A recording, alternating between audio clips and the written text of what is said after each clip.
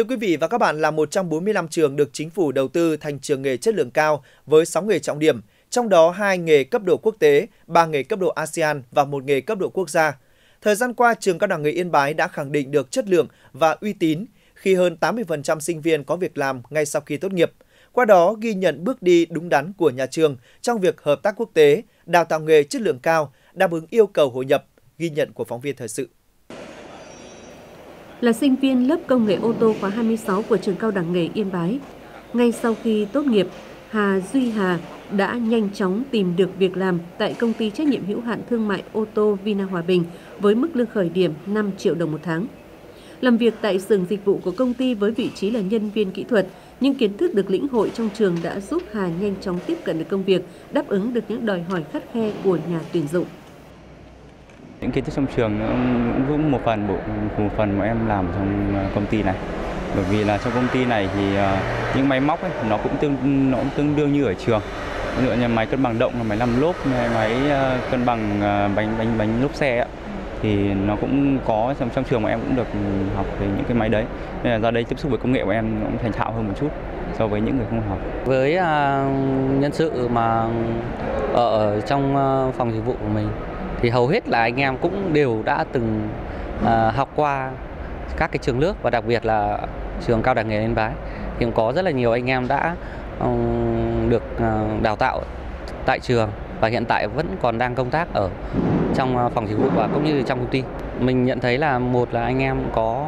kiến thức chuyên môn, thứ hai là có tính kỷ luật rất cao trong công việc. Về cái hiệu quả công việc thì mình nhận thấy là anh em cũng có nắm bắt được ngay những cái Ừ, nội quy quy định của công ty. Thứ hai là về cái định hướng ừ, của công ty trong quá trình làm việc và kết quả à, làm việc của các bạn là tương đối là khá so với những anh em ờ, mới khác.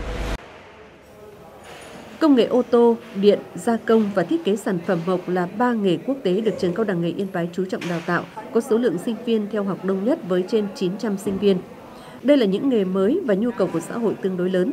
Để nâng cao chất lượng đào tạo, nhà trường đã chú trọng công tác hợp tác quốc tế, trong đó đã phối hợp với Tổng cục Giáo dục nghề nghiệp, Viện Tiểu thủ Công nghiệp và Kỹ năng nghề Leipzig, Cộng hòa Liên bang Đức tuyển sinh và đào tạo nghề gia công và thiết kế sản phẩm mộc, hợp tác với công ty trách nhiệm hữu hạn LG Electronics Việt Nam Hải Phòng đào tạo công nhân kỹ thuật cao. Nhà trường đã được thẩm định và đã đạt được à, chứng chỉ của quốc tế đó là Cộng hòa Liên bang Đức ờ, uh, AIG. Uh, ờ, trong quá trình uh, đạt được như thế thì giáo viên đã được cử đi Cộng hòa Liên bang Đức đào tạo uh, chuyên sâu 4 tháng. Sau khi được đào tạo chuyên sâu 4 tháng đó về thì các giáo viên đã áp dụng toàn bộ những cái gì được học ở Đức và uh, về kỹ thuật Ờ, tay và kỹ thuật ờ, máy ờ, để áp dụng vào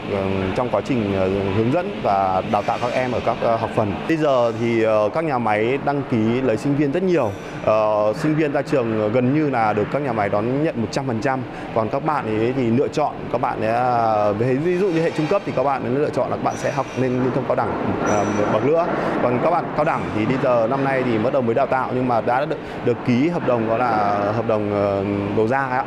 cho các bạn sinh viên đầu ra cho sinh viên luôn và nhà trường ờ, hướng tới là giới thiệu cho các bạn là toàn bộ những công ty lớn ví dụ như công ty nội thất Hòa Phát, công ty nội thất Woodland, toàn bộ là những công ty nội thất mà đang gần như là lớn uy tín trên thị trường.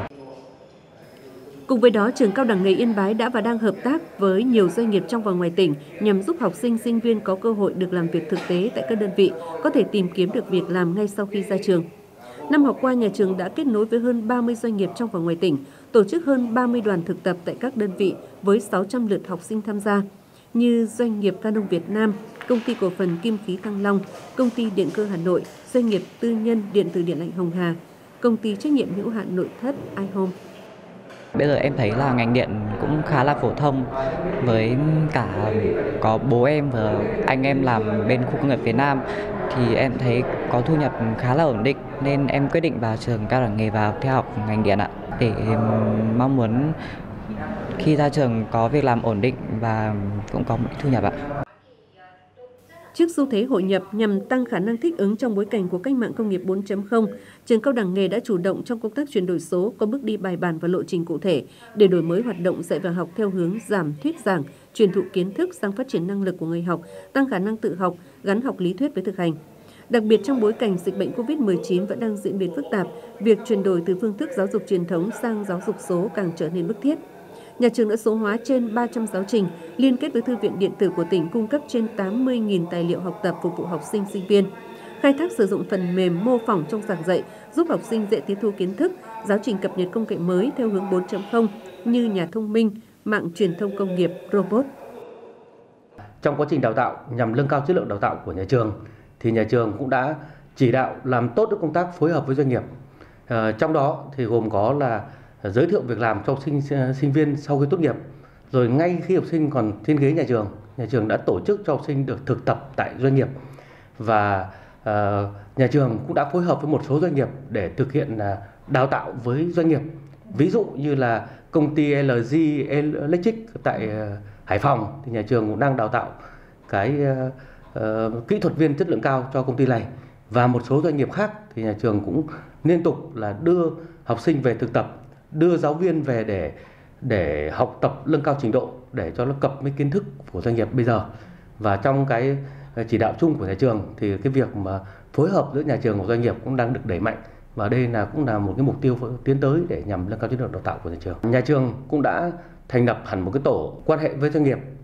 Thì ở cái tổ này có chức năng nhiệm vụ là làm việc với doanh nghiệp để Ờ, khớp lối giữa việc cho học sinh đi thực tập cho giáo viên đi học tập tại doanh nghiệp và giới thiệu việc làm sau đào tạo. Thời gian tới, trường Cao đẳng nghề Yên Bái sẽ tiếp tục phối hợp với các doanh nghiệp trong và ngoài tỉnh để đảm bảo cho học sinh, sinh viên ra trường đều có việc làm. Phát triển hệ thống thông tin thị trường lao động để gắn kết đào tạo với sử dụng lao động, qua đó góp phần nâng cao chất lượng nguồn nhân lực phục vụ phát triển kinh tế xã hội các địa phương.